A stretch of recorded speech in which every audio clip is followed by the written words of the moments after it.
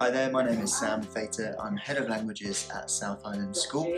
I'm leaving after four years here and I can honestly say that despite many challenges, these four years have been the best of my life, the most exciting and the most invigorating.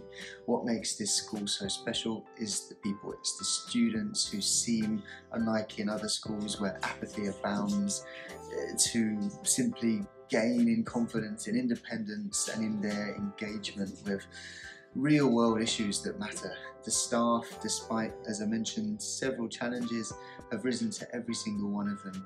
It is exciting to come into this office every single day and I can put my hand on my heart and say that I have loved working here at SIS every single minute.